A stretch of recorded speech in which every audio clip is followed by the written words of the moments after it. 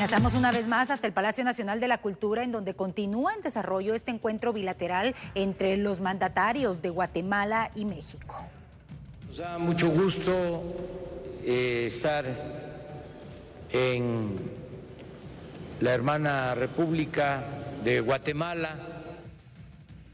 Agradecemos mucho al presidente Alejandro Yamatei por sus muestras de solidaridad y su amistad con el pueblo de México y con el gobierno que represento. Amigas, amigos de Guatemala, como ustedes saben, tras un periodo oscuro y decadente en el que México se ausentó de América Latina, hoy el gobierno que presido tiene la convicción y el propósito de participar en la construcción de un futuro común para nuestra región, de la justicia y de una procuración de bienestar para las poblaciones sin afán de imponer soluciones ni de intervenir en asuntos internos, como ya lo he mencionado. Hemos dispuesto ayudar a los países, a las naciones más cercanas, más entrañables en lo cultural, en lo geográfico, en lo histórico y, repito, en lo afectivo. La fórmula que estamos aplicando en México para reactivar el campo, cuidar la naturaleza, crear empleos, rescatar a los jóvenes de la marginación laboral y educativa y crear, en fin, las condiciones de bienestar que demandan y merecen las mayorías de esta Mesoamérica contemporánea.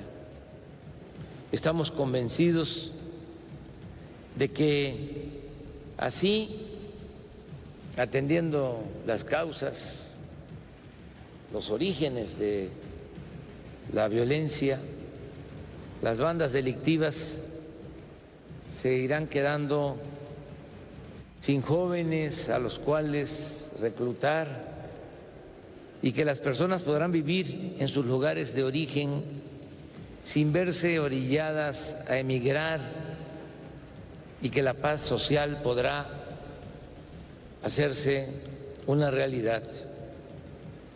Mi gobierno está centrado en la aplicación de programas como Sembrando Vida, que ofrece a miles de productores del campo una paga mensual para que siembren en sus parcelas o pequeñas propiedades árboles frutales y maderables, no solo para remontar los daños causados por la deforestación y la explotación inmoderada de las selvas y bosques, sino también para procurarse ingresos y establecer mejores medios de vida, tanto para la generación actual como para las futuras en las comunidades rurales del país.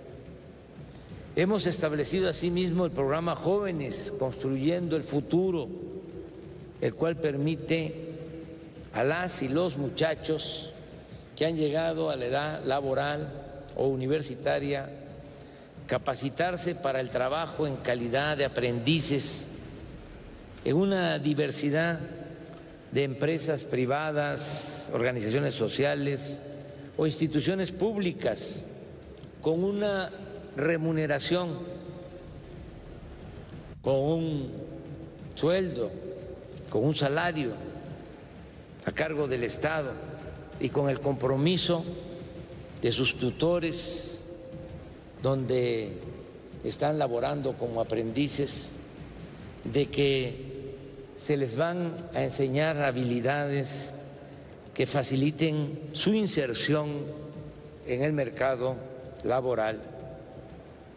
También estamos otorgando 11 millones de becas para estudiantes de escasos recursos económicos, desde el nivel básico hasta el posgrado. Tenemos, por otra parte, la pensión universal para adultos mayores, por medio de la cual todo aquel que haya llegado a los 65 años tiene derecho a recibir un monto bimestral que este año llegará casi a los 200 dólares y que se irá incrementando con el tiempo. Nuestro objetivo es que para principios del 2024 cada adulto mayor en nuestro país tenga garantizado un ingreso económico equivalente a 300 dólares cada dos meses. Existen otros programas para grupos vulnerables, pero les he referido solo los principales, aunque se otorga prioridad absoluta a los grupos indígenas, todos los programas de bienestar se aplican y buscan que beneficien de manera universal, es decir, a todos, y los hemos elevado a rango constitucional. La ejecución de esta política de bienestar permitió a millones de hogares enfrentar los meses más duros del confinamiento por la pandemia, cuando la economía prácticamente se paralizó y muchos se quedaron sin sus ingresos regulares. La migración, como todos sabemos, amigas, amigos de Guatemala, es la evidencia de la injusticia. Mi gobierno se ha propuesto erradicar las condiciones de pobreza, insatisfacción e inseguridad que la originan. Y así avanza entonces esta agenda establecida a través del encuentro bilateral que se desarrolla entre Guatemala y México, abordando temas focales como el tema migratorio y por supuesto el tema de seguridad. De esta manera ponemos punto final a esta emisión agradeciendo su fiel sintonía. Andri, buena noche. Buenas noches, Karina, estimados televidentes. Nos vemos mañana, primero Dios. Pásenla bien.